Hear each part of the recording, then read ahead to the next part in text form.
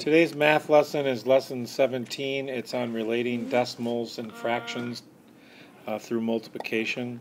I'm going to do four, all of number four from their homework.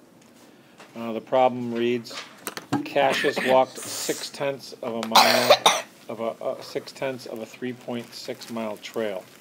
How many miles did Cassius have left to hike is A.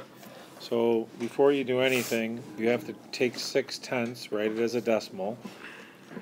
You see the word of in there, which means multiply. And you have 3.6, a 3.6 mile trail.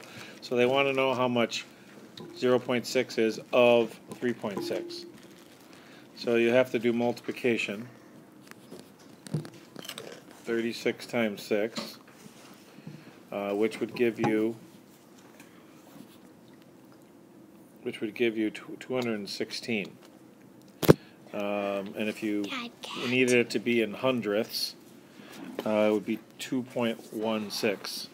Now the other way that we were teaching this is change these to fractions. And if you change these to fractions, you could also do it this way as well. And you would get 216 over 100 if you did top times top, bottom times bottom. So these both are the same. Now, that is not the answer to A because the question in A is asking you how many miles did he have left to hike. Well, if the whole trail is 3.16 and he's walked six tenths of it, to find out what's left, you're going to have to do this subtraction.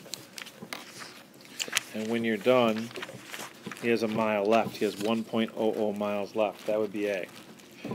B reads Cameron was 1.3 miles ahead of Cassius.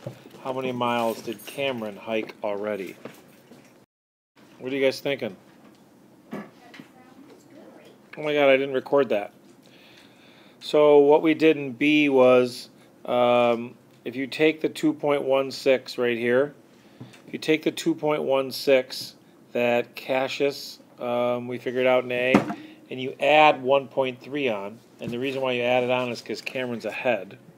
If you add those two together, you get 3 point, you get 3.46, and that's how how many miles Cameron's hiked already.